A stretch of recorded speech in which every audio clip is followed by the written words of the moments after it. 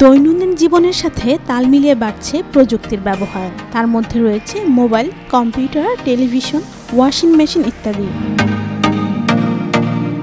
আর এই ইলেকট্রনিক জিনিসের মেয়াদ শেষ হয়ে যাওয়া কিংবা অন্য কোনো কারণে তা ব্যবহারের অনুপযোগী হয়ে যাওয়ায় বজ্রতে পরিণত করি। আর এটাই হচ্ছে এই বজ্র।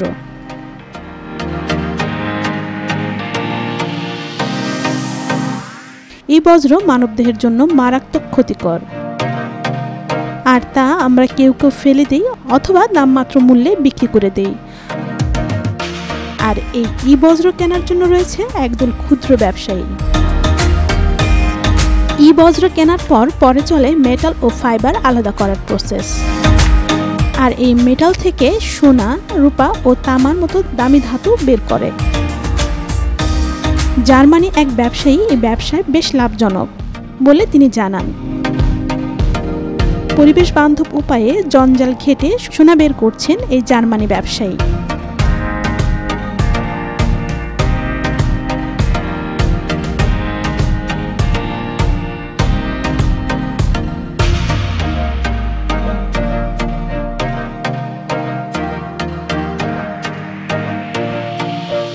ইলেকট্রনিক জিনিসপত্রে সোনার ব্যবহারের কারণ হলো এটি ভালো বিদ্যুৎ পরিবাহী। সোনা ছাড়াও রূপা এবং তামাও ব্যবহার করে থাকে। সোনার কানেক্টরগুলি ডিজিটাল ডাটা, যথাযথ স্থানে তথ্য স্থানান্তর করার জন্য ব্যবহার করা হয়।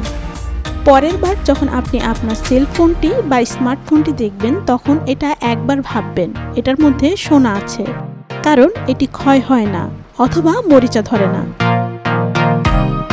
বোর্ডের ছোট কানেক্টরগুলোতে ব্যবহৃত হয় যা আপনার ফোনকে এটি বিস্ময়কর ডিভাইস বানিয়ে তোলে।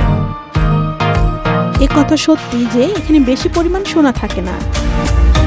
প্রায় পঞ্চাশ মিলিগ্রামের মতো থাকে। যার মূল্য তিরিশ অথবা পঁয়ত্রিশ টাকা। আপনি মিলিয়ন বিষয়টি ভাববেন এবং মিলিয়ন মিলিয়ন মোবাইল ফোন ব্যবহারের কথা আসবে। এ ভাবনার বিষয় হয়ে দাঁড়াবে। পৃথিবীর তলদেশ থেকে খুঁজে বার করার পর আমরা এটিকে পৃথিবীর বাহিরে মহাকাশেও পাঠিয়েছি। ইনফ্রাইরেড রেডিয়েশন প্রতিফলিত করার জন্য এবং তাপমাত্রা স্থায়ী করার জন্য। সোনার আচ্ছাদিত পলিস্টার মহাকাশযানে ব্যবহৃত হয়। আর্থ বিজ্ঞানের সংবাদ ও তথ্যের জন্য নেতৃস্থানীয় ওয়েবসাইট জিওলজি ডট কম বলেছে, এর কারণে সোনা ছাড়া মহাকাশযানের অন্ধকারময় অংশগুলি পর্যপূর্ণভাবে বেশি তাপ শোষণ করে নেবে। কেবলমাত্র এই উদ্দেশ্যেই ইউএস স্পেস শাটল কলম্বিয়ায় একচল্লিশ কিলো সোনা ব্যবহার করেছিল।